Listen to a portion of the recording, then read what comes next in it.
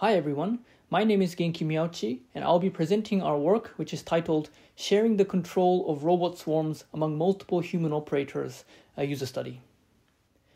As we continue to push the use of robot swarms in the real world, it is important for us to think about how humans can effectively use these systems. Potential scenarios, such as firefighting or certain rescue missions, can require a group of human operators to work alongside robot swarms and instruct them to do various tasks. We are interested in the case where multiple human operators are dynamically sharing the robot swarm with each other depending on their current needs.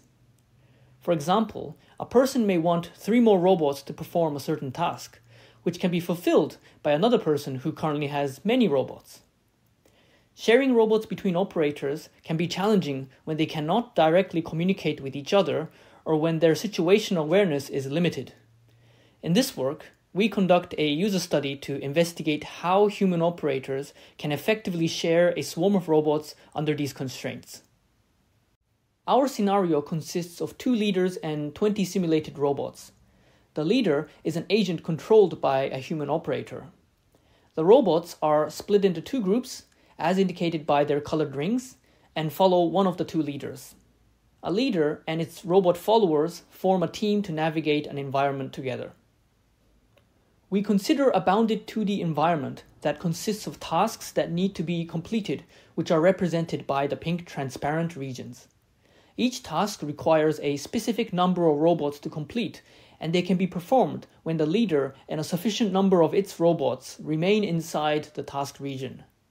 Completing a task makes a new task appear in a random location. The human operator's goal is to complete as many tasks as possible using the robots. In our previous work, we developed a robot swarm that maintained connectivity between freely moving leaders. The robots autonomously form an ad hoc network that allows the operators to communicate with each other.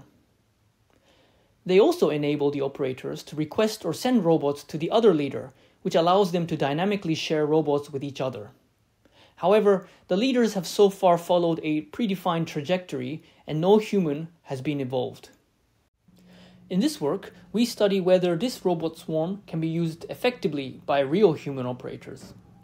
We developed a novel user interface that presents a local perspective from the leader's point of view, limiting the operator's situational awareness. It also displays information about the teams, the current task, and provides functionalities to request or send robots with another operator. Our user study involved 52 participants who were randomly paired to form a team.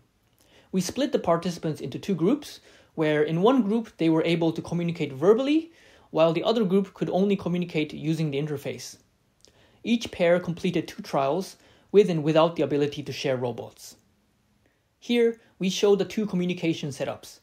The first half of the participants in direct communication sat close together and were allowed to freely talk with each other. The other half of the participants in indirect communication were separated from their partners and were only able to request or send robots through the interface. Here is an example performed with indirect communication and robot sharing enabled. The top shows a global view of the environment, which was not provided to the participants. The bottom two show the actual user interface controlled by each participant we can see the operators scanning the surrounding environment and moving towards different tasks to work on them. We also see the operators sharing robots with each other when they encounter a task that requires more robots than is currently in its team.